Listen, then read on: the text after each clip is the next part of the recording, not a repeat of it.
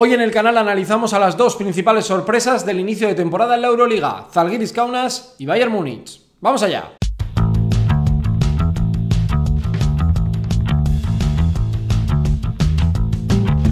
Muy buenas, bienvenidos a mi canal, hablemos de básquet, hablemos de Euroliga, menuda semana estáis teniendo de baloncesto de Euroliga y NBA aquí en el canal y hoy para hablar de Zalgiris Kaunas y Bayern Múnich. Había mucha gente que me lo había pedido, supongo que no será uno de los vídeos más vistos del canal, así que si me das tu apoyo y sobre todo compartes el vídeo con gente que le guste el básquet, grupos de WhatsApp, páginas de Facebook, en Instagram, donde tú quieras, en Twitter, me haces muy feliz porque quiero hablar de estos dos equipos y quiero que mucha gente sepa que hay dos grandes equipos que no están en el circuito de los 6-7 principales que lo están haciendo muy bien en este inicio de temporada en la Euroliga. Seguramente los dos acaben cayendo, o al menos uno de los dos, pero ya están dando buenas noticias, están siendo equipos atractivos para el espectador. Zalgiris, Kaunas y Bayern Múnich merecen un vídeo aparte y lo estamos analizando y vamos a hablar por qué los dos están yendo tan bien, porque cada uno tiene causas completamente diferentes. Por cierto, recuerda también que te puedes suscribir por aquí abajo ¿eh? y comenta porque quiero saber tu opinión. Si te gusta el equipo de Martin Schiller, o el equipo de Andrea, de. Vamos a ir en primer lugar con Zalgiris, que es el equipo Yeye, el equipo de moda, del que pensábamos que con la salida de Saras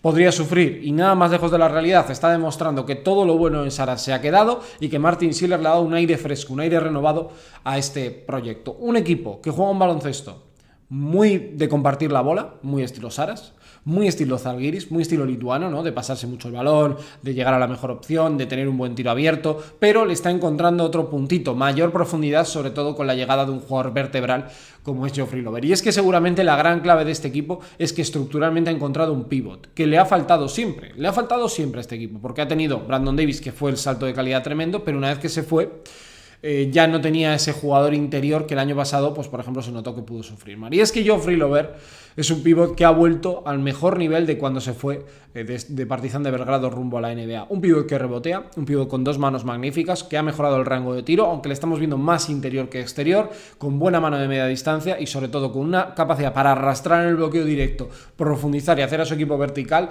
que es eh, salvaje. Si él no está, para mí Zalgiris se cae. Pero estando y mostrando los números que está mostrando, le estamos viendo como un jugador absolutamente diferencial. Yo, la verdad, y creo que, igual que digo muchas veces, mirad los vídeos porque yo os dije, podéis ir a los vídeos, o si no, ya os lo digo yo, no daba un duro porque Geoffrey Lover de verdad fuera a despertar y fuéramos a ver una versión cercana a la que vimos antes de irse a la NBA. Y la estamos encontrando. Ha cambiado su look, ha cambiado su estilo y vuelve a ser ese pivot que pelea bajo los aros, que rebotea, que hace muy buenos bloqueos, bueno, que enamora, porque a mí ese tipo de pivot además no es tan alto como un 2.13, pero es un pivot que tampoco es de 2 metros, pero que marca muchas diferencias. Fundamental, para mí es una de las claves. Segunda, Grigonis está sano y además acompañado de Rocas Jokubaitis, es decir, que la posición de 2 ha dado un salto de calidad tremendo. Grigonis se lesionó el año pasado más o menos por estas alturas y a partir de ahí el equipo pues tuvo muchos problemas para confeccionar un buen baloncesto, porque él es el jugador que marcaba diferencias por fuera, que generaba desde el uno contra uno, que daba muy buenos tiros en los momentos clave para poder anotar. El ex jugador de Tenerife,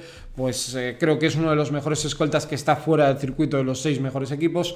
Eh, jugador importantísimo, fundamental, clave y me alegro mucho de que le vaya bien porque tiene piernas, tiene baloncesto para hacer las cosas muy bien y yo de verdad que me alegro por ver el buen rendimiento que está mostrando Marius Grigonis. Además, acompañado, decíamos, de Rocas Jokubaitis, que es un jugador joven que Martin Schiller ha puesto a la palestra. Si hubiera seguido Saras, yo creo que Jokubaitis ya hubiera tenido muy buen papel porque había veces que lo iba mostrando poco a poco, pero Schiller ya lo ha soltado y le ha dado la, la oportunidad. Y si a eso le sumas dos bases, 100%, el estilo de juego o que encajan 100% con el estilo de juego que tú buscas, mejor que mejor. Lecavicius es la bomba que sale desde el banquillo y te revoluciona. Defiende robando muchos balones, es muy rápido, muy eléctrico, tira de 3, tira de 2, hace como muchas cosas, un microondas. Y luego tienes a Thomas Walkup. Walkup es un jugador más sobrio, más distribuidor, que ha evolucionado mucho, y esto es gracias a Sarunas Jasikevicius, que convertirse en un base de pleno derecho, y Martin Schiller lo que ha hecho es explotarlo. Defensor top en el 1, jugador que pasa bien, que anota cuando está solo, penetra súper bien. A mí me parece que es un jugador que desde que llegó del Ludwigsburg en Alemania ha ido dando paso adelante, y es un jugador muy solvente, y que además, bueno, pues con Grigonis encajan perfectamente. Pero si hay que hablar de otro factor, y ya luego vamos a hablar de Bayern Múnich, es no hemos visto a Pato Garino, que se ha lesionado y no hemos tenido oportunidad de disfrutarlo. Milagnis ha tenido un buen papel en esa posición de, alero, pero hay que hablar de Nigel Hayes, que seguramente sea el salto de calidad también más grande para este equipo, porque es el interior que sustituye a Zach Day, que sustituye a Jock Landale, que el año pasado era un jugador diferencial en Europa, pero que este año Nigel Hayes está demostrando realmente lo que fue en baloncesto universitario y lo que pudimos ver en Galatasaray. Una la pivot, que puede jugar de tres, que aquí en Europa con un paso más cerca de la línea de tres tiene buena mano, excelente defensor, todoterreno 100%, se queda con un 3 lo defiende, se queda con un 5 lo defiende, jugador además que tiene mucha ambición, que tú lo ves correr por la cancha y transmite esa energía que yo creo que a Martin Silver le encanta y eso hace pues que sea un equipo súper difícil. Si le das con buen Yankunas, Martina Gevens te puede echar una mano y este tipo de jugadores y por supuesto Agustin Rabbit, también o Rubit, es otro pivo que el año pasado en Olympiacos no brilló pero que tiene un papel de ser jugador correcto, pues estamos ante un muy buen equipo y que está pues, en la zona alta. Y a mí, de los dos, creo que es el que más va a costar tirarlo de la zona alta. ¿eh? Creo que no va a llegar a estar top 4, pero puede estar séptimo, octavo si hace el baloncesto o practica el baloncesto que está practicando en los últimos eh, tiempos, inicio de temporada. Y el milagro, porque para mí es un milagro, es Bayern Múnich. Yo, sinceramente, no esperaba nada, pero nada es nada de este equipo por los fichajes que había hecho, es cierto que ficha un buen entrenador, yo hubiera apostado por otro perfil, pero Andrea Trinqueri es un entrenador muy consolidado, lo había hecho bien en Partizan de Belgrado.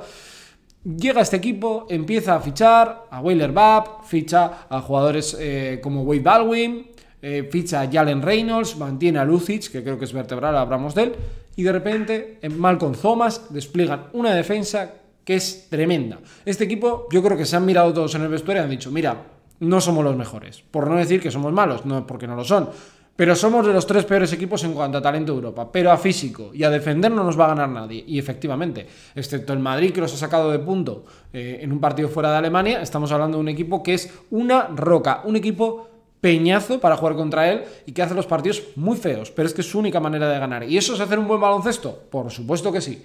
Y ahí hemos visto, por ejemplo, a Jalen Reynolds siendo un magnífico defensor, un jugador que no había encontrado su gran oportunidad, estuvo en el Barça, Maccabi y tal, pero parecía que era un equipo, un jugador para equipos un poco que, que no tenían un rumbo fijo, pues parece que en el Bayern ha encontrado su sitio.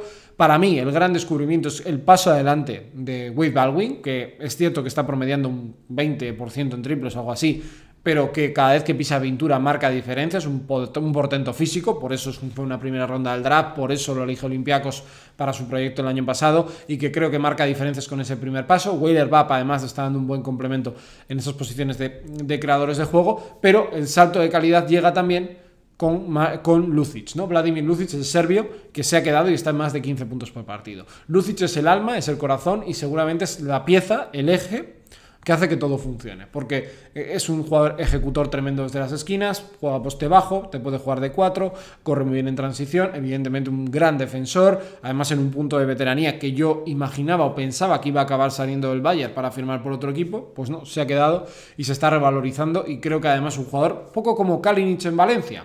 Ese tipo de jugador que cae en un sitio, cae de pie y la verdad que muestra pues, un nivelazo que creo que es la, la clave. Un gran equipo reboteador, que creo que va a acabar cayéndose porque el baloncesto le va a acabar colocando en su sitio, pero un poco como Asbel el año pasado, una carta de presentación, de decir, eh, estoy aquí.